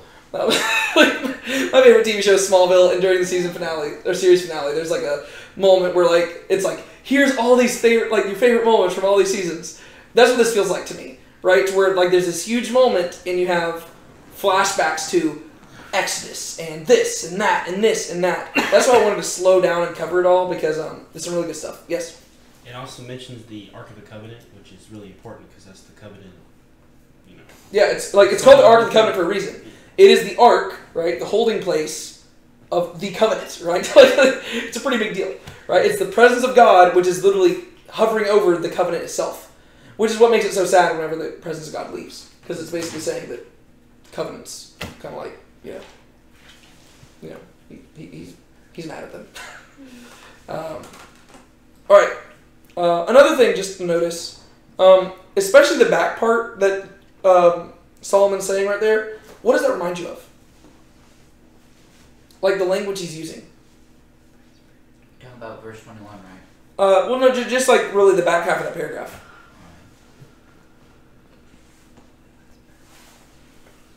It says my name, my people, my like it mentions like like a lot of that. Okay. But is there anything? I mean, he's talking about David a whole lot here. Yeah. What specifically do you think Solomon has in mind? The Davidic covenant. The Davidic covenant, right? Um, you'll notice that Solomon is making mention of a lot of covenants throughout this, right? Because really that's what this is about, right? I mean, the Abrahamic covenant, what did God say? I'll make you a great nation, I'll make you great, you'll be a blessing to the whole world, and in you all the families of the world will be blessed, right? God said he was choosing the people of Israel to bless all the nations. What is the temple? A house of prayer for all the nations, right? God told the people of Israel that if they were faithful to his covenant, he would come to dwell in their midst. He's coming to dwell in their midst. God told David in his covenant that his son would build a house for his name and that he would be as a father to David's son. Boom. Right? So this moment really is like that's why I'm saying it feels like almost a climax moment for the Bible. Right? Because you have all of the major covenants given so far, other than the Noahic covenant. But the Noah, the covenant to Noah is just kind of a little bit different deal because basically God just promised I'm not going to flood the earth again, and so we're not even really dealing with that right here, right? but all the other covenants since then, they're all coming. They're coming to a climax right here. And with Solomon, keep in mind when it comes to the Abrahamic covenant, it almost seems fulfilled, right? Because God promised land, seed, blessing, right? Solomon has almost acquired all of the land, right? Like, like they have reached the borders that God promised, essentially, right? Israel has become a nation, right? Solomon's being faithful to God, so he looks like the seed who's going to crush the serpent, and they're blessing the world, and they have been blessed. So it feels like the Abrahamic covenant could be fulfilled right here. And the people are following the law, they've got the Ark of the Covenant. Like it feels like all three of these covenants could be fulfilled in this moment, right? And so that's why there's such heavy covenantal language. It's because, like Solomon probably has it in his mind that this is it, right? Like this is what human history has been building up to. Then Solomon said, Yahweh has said that he would dwell in the cloud of dense gloom. I have surely built you a lofty house, a place for your dwelling forever. Okay. Um, anytime you see like the narrative break into poetry, that's usually the author of the book telling you, "Hey, pay attention to this because this is going to help you interpret the rest of it." Right. So let's talk about that. Um, also, I think we'll probably just make it our goal to get to these verses, and then we'll just wrap up. Yahweh has said that He would dwell in the cloud of dense gloom.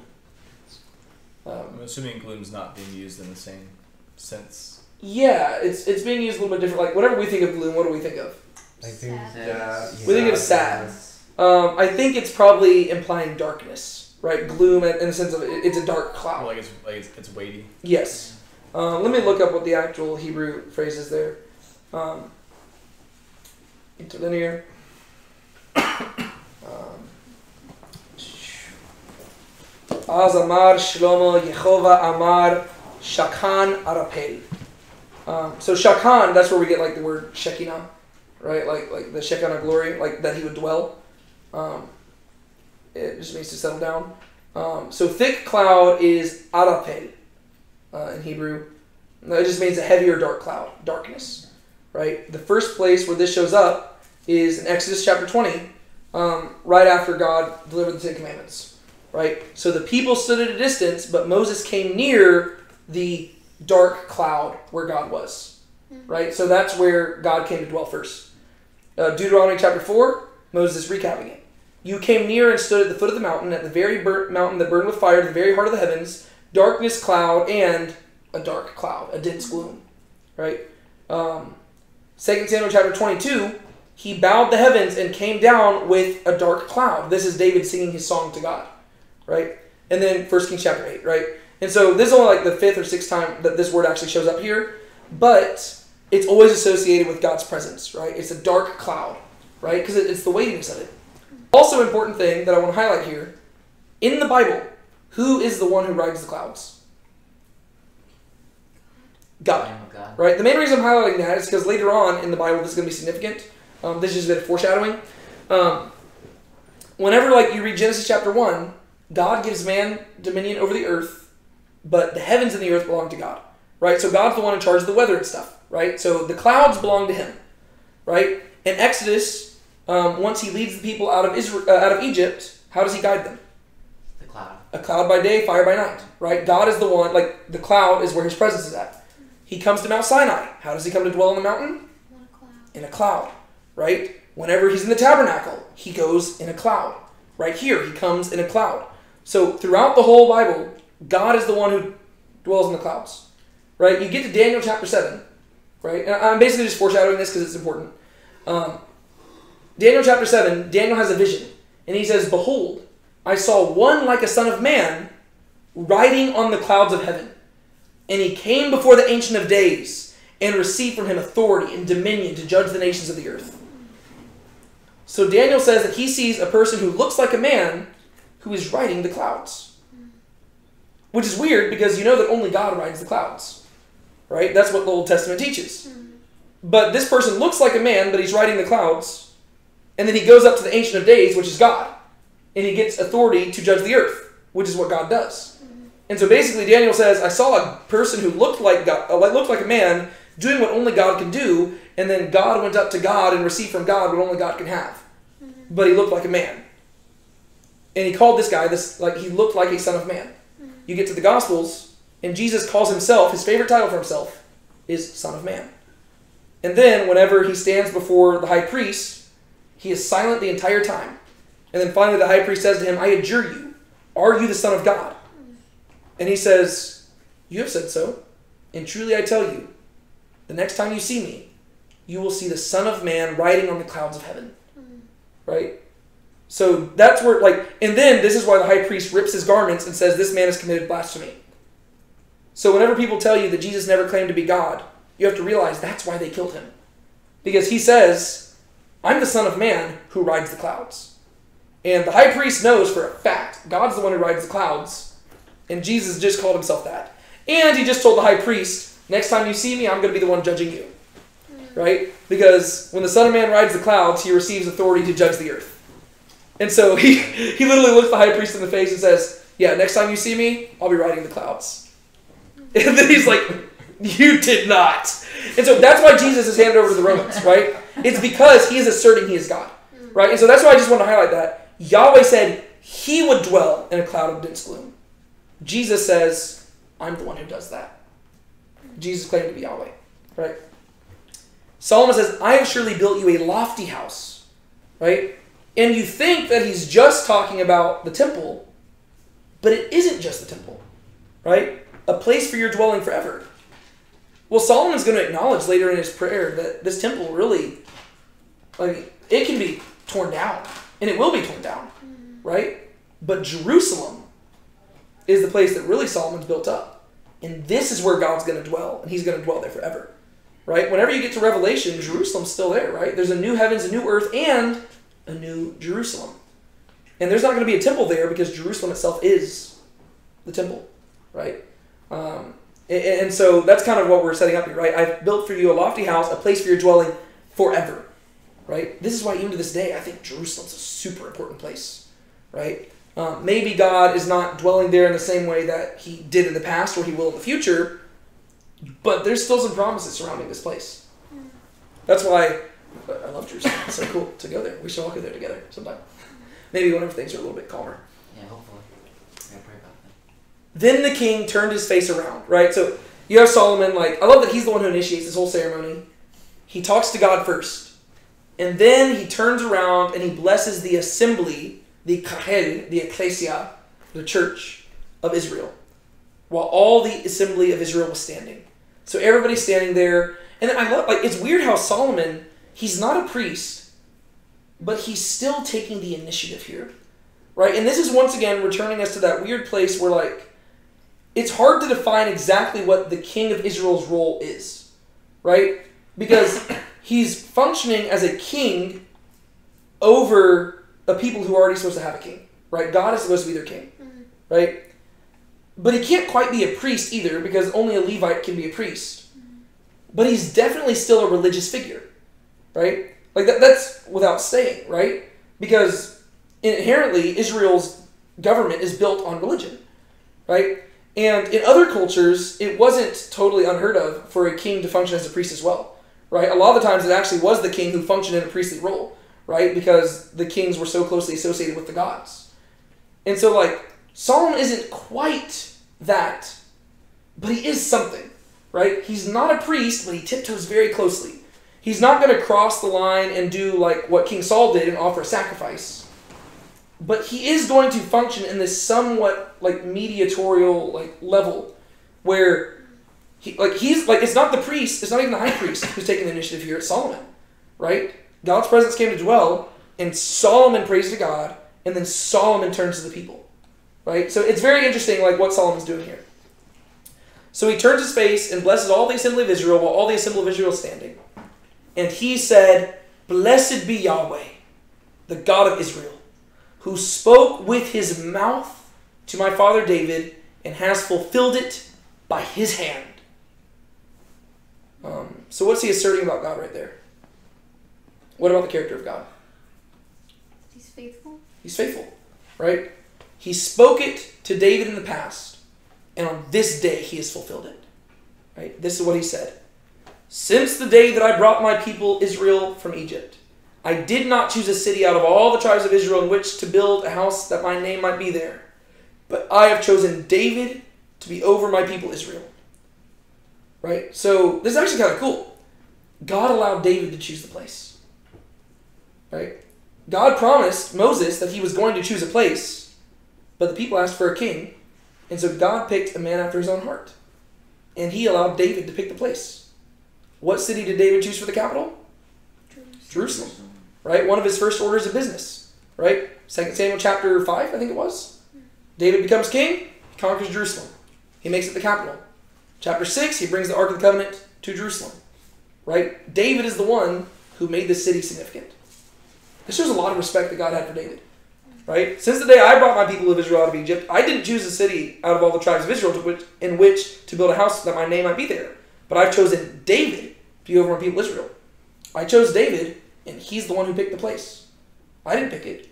He did. Right? Uh, and also, David's the one who wanted to build the house to begin with, right? I like that Solomon begins by giving credit to David, right? Solomon isn't like, look, my building project is done. Like, he admits, he's like, no, this is my dad's building project, right? I, I might be the one who did it, but it was my dad's heart that got us here, right? So he's giving credit where credit's due, and he's giving credit to the man after God's own heart. David like sowed the seeds of it so that Solomon could harvest it. Yes, right? Uh, like Paul says, right? One might plant the seeds, another one uh, may tend to the growth, and another one might reap the harvest, right? So we all have different roles. David planted the seed, Solomon is reaping harvest, for sure. And it was in the heart of my father David to build a house for the name of Yahweh, the God of Israel. Right? It all started with a desire. Right? David wanted to build it in his heart. And we know what about David's heart? He was a man after God. He's a man after God's own heart. So if it was in David's heart, it's probably a good thing. Right? In this context. Right? There's other times where David's heart was not too great. But in this context it was good. Right? It was in the heart of my father David to build a house for the name of Yahweh, the God of Israel. But Yahweh said to my father David, Because it was in your heart to build a house for my name, you did well that it was in your heart. Nevertheless, you shall not build the house, but your son, who will come from your loins, he shall build the house for my name. So he points out, David, I love your desire, but that's not the job I have for you. Application wise, I think that's an important thing for us to realize. Um, all because you have a good desire does not necessarily mean that's from God, right? This is something that I've learned more and more as I read the Bible, right? A lot of times we think, oh, well, I don't think this can hurt, and so we think that it's from God. Well, not necessarily, right? Because there's a lot of good things you can want to do, right? I mean, I've been reading about this in Romans, right? Paul, he talks about how desperately he wants to visit Rome. He's like, you know, man, I've tried so many times, I've set my plans, I've wanted to go there, but I'm a slave to Christ Jesus. And God keeps sending me other places. But he, he says, I want to go to y'all and I want to preach the gospel and I want to fulfill my ministry with y'all. but I'm under obligation to everybody. And so where God sends, I have to go. Does that mean that Paul's desire to visit Rome was bad? No. He wanted to go there to disciple them and to help them grow, which is a good thing. But he said that he ultimately wanted to submit to God more. Same thing with David. Yes? Were you, were you raising your hand or were you stretching? I'm stretching. Okay, cool. Um, but I think this is something that we should all reflect on. Like I try to reflect on this a lot. Um, there's a lot of things I want to do. Right? I would love to write books. I love writing music. I love doing like all these sorts of things. And really, the hardest thing for me is figuring out what is it that God wants me to do. Right? Even like this whole YouTube channel thing I do. Like there's a lot of YouTube people I partner with, and they're like, "Man, why don't you dedicate more time to trying to grow your channel?" It's because I don't know if that's what God wants me to do. I enjoy doing it, and so I will do it. But if it's going to grow, I'm going to need God to do that for me to send me a clear message that that's what He wants me to do, right?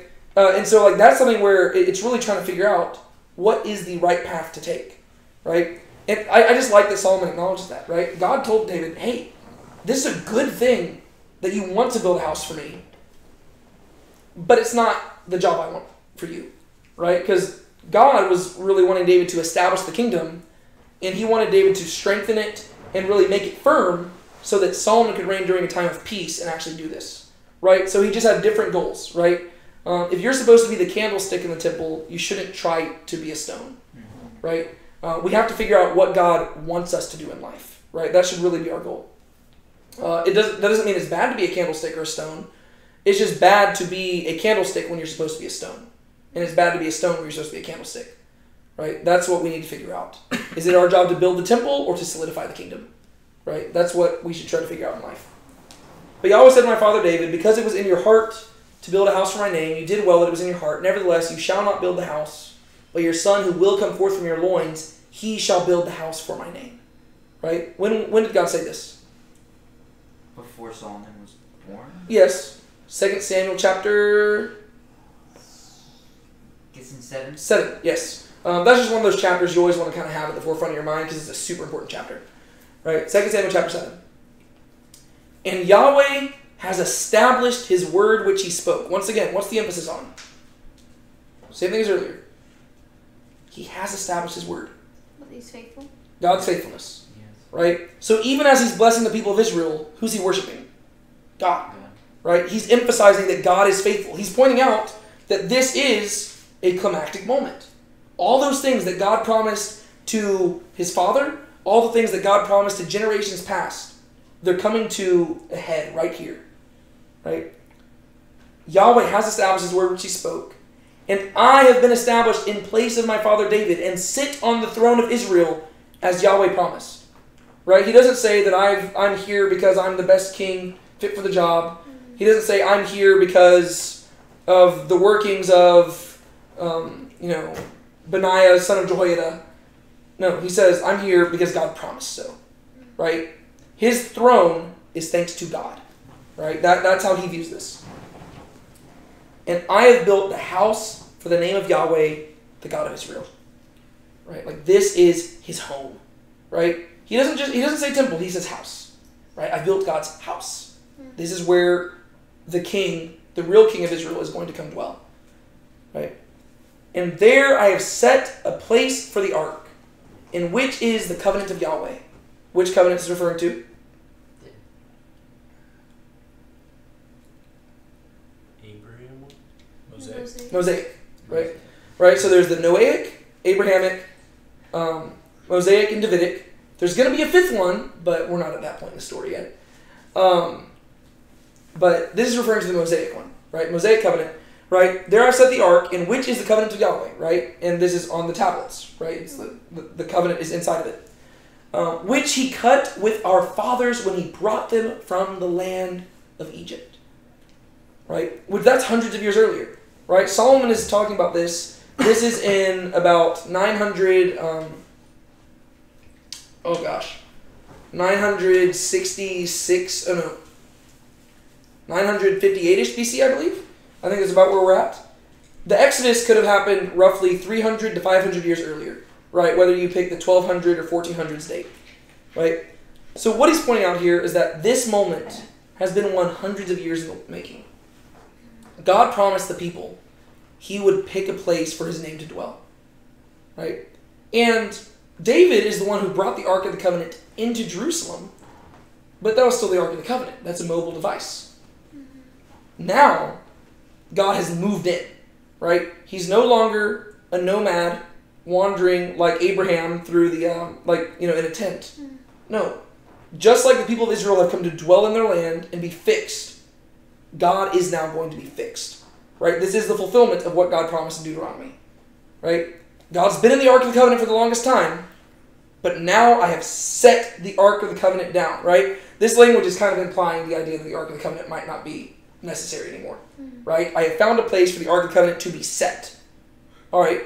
Well, now that it's there, it doesn't have to move anymore, mm-hmm. right? Because this is where God's going to dwell. We'll continue with this next week. Or actually, no, we won't, because next week um, is Thanksgiving week, and next week we're actually going to have a little field trip, and we are going to go to First Baptist Seabrook, my church, uh, and we're going to celebrate Thanksgiving with them because there's going to be there's like a whole Thanksgiving feast thing, um, and so uh, after we wrap this up, I'll do like a head count and stuff and see who's actually going to join us. Um, it'll be a fun time, but we will finish chapter eight the week after that, Lord willing. Sound good? Cool. Um, real quick, um, is there any final thoughts y'all want to share? Maybe any points of application or something that um, you want to bring up before we actually wrap this up? Going back to what you said about uh, doing what God uh, wants you to do, just seek His guidance. For sure. Don't try to be something that you're not. Yep. I would say that the God that we see here is the same God that we serve. So we serve the God who's the Ancient of Days. So we know that if He's faithful here, that He is going to be faithful now and in the future. Yeah, that, that's a big point that we need to realize, right? Anytime that somebody in the Bible experiences God's faithfulness, that is supposed to teach us something about God, right? It's not like God was faithful to all the people in the Bible and is just going to suddenly abandon his faithfulness. Mm-hmm.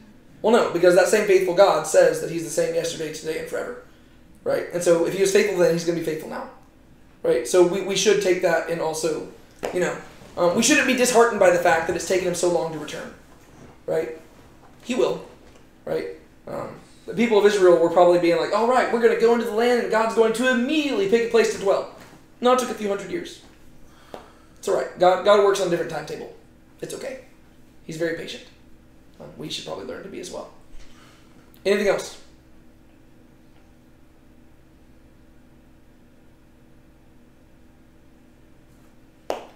God's going to do something, it might not be immediately, but it will eventually happen. Amen. Yeah, it will happen.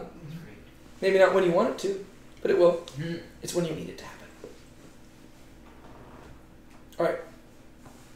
Sean, could you close us out in prayer?